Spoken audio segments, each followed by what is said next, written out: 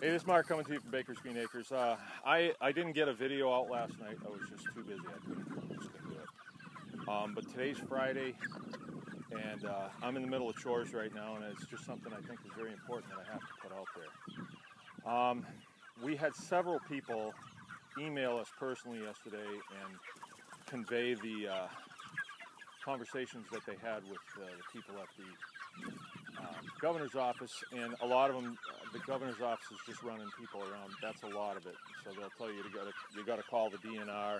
DNR will tell you you got to call the Attorney General's office, and and so on. Don't let that discourage you. You still have to um, keep up the uh, keep up the pressure on the governor's office. This is definitely his baby now. It's definitely his baby. All right. Let's make sure that we all understand that this is uh, this is laying right at his feet, and we need to make sure that that's that they know that that that's how we feel about this. Certainly is how I feel about it. the Attorney General's office right now. We know that they're just going to do what they're told to do, and and that's it. That's that's their thing. They're taking the uh, um, the I'm just doing my job approach, and I'm I'm here to tell you that didn't work at the Nuremberg trials, so it's it shouldn't work here either.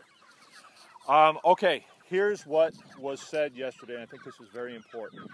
Um, a, a, person that we've gotten to know through this made several phone calls to the governor's office. Finally, wound up talking to Ed Golder. Ed Golder.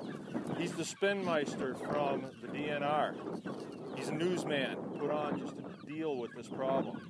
Ed is going to tell you what the DNR wants you to know. That's it.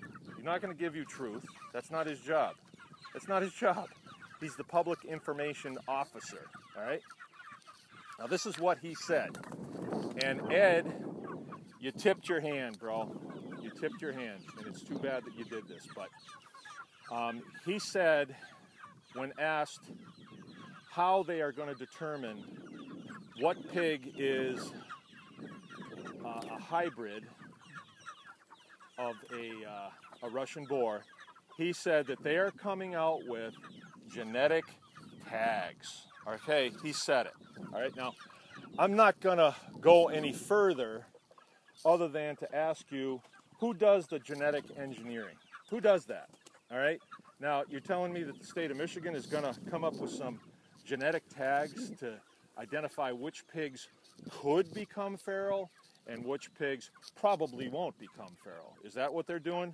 Or are they going to say that if you have a pig that does not have this genetic tag, then your pig is feral? I think it is the latter. And what they are going to do is they're, they're, in that case, they will have a test. And it will be a blood test. They can draw blood from your animal and see if it's got that genetic tagging. So we've thought all along that we knew who was behind this.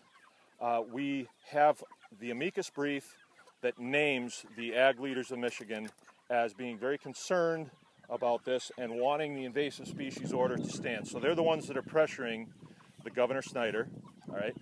And Governor Snyder is telling Keith Creagh what to do. Okay, so we have a clear link to the people that do genetic tagging, all right? Let's find out who they are. I think we all know who they are, and we know who ALM is beholding to. But here's the thing, state of Michigan and America, you don't have to put up with this crap.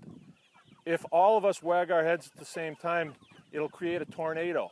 We just got to say no, but it has to be all of us that say no. There's parts of the country right now that are saying no to genetically modified stuff, and they're going to put these people right out of business. And that's really what needs to happen. We have all these people in the state of Michigan with nothing to do, no jobs. Why aren't they on farms working? Why aren't they? Why aren't we getting the subsidies from the federal government that the, the mega farms are getting to produce poisonous food. Why is that? Okay, well, we can change this. This is doable because uh, I, I feel as though at some point the governor is going to uh, concede to political pressure and say, oh, yeah, I'm all for family farms. Because right now, you can look him dead in the eye at some of his little speeches that he gives and say, why are you trying to destroy family farms? Why is that, Governor Snyder? And I think people need to do that. And I think that needs to be a question that is put to his staff starting today, today's Friday, you can still get a few more phone calls in today. Say, why are you trying to ruin family farms? Is that your platform that you're running on for the reelection? Destroying family farms. Let me tell you something, folks. Family farms employ people. They employ families plus people from the community. I have several people that work for me here. We used to have more before this thing started up. When I'm making profits, I spread them to my employees, right? Industrial ag doesn't really work that way. They want everybody to be kind of, you know, um, driving a huge tractor and using the advantage of chemical fertilizers and things like that. So they have very few people working, and then they employ a lot of people that are not exactly U.S. citizens, right? And that's wrong. That's wrong. I don't care how you feel about that. The money needs to stay in our community, not going south of the border. Right? I hate to bring that into this, but that's just reality, and everybody knows it, so we might as well say it. All right, I'm going to cut it off there, but I thought I should bring that to your attention. Please keep up the good fight. It is working. The pressure on his office is immense, and it works. And let me tell you, there's a, tidbit came in yesterday that I think will be huge. Um, somebody has gotten to a very uh, prestigious law firm and told the story of what the state of Michigan has done to this little farm right here and that prestigious uh, legal firm has taken interest in it. And I will brief you on that as soon as I, as soon as I know more about it. But it looks very good. All right, Mark Baker's Green Acres. Happy Friday. Have a good weekend. Signing off.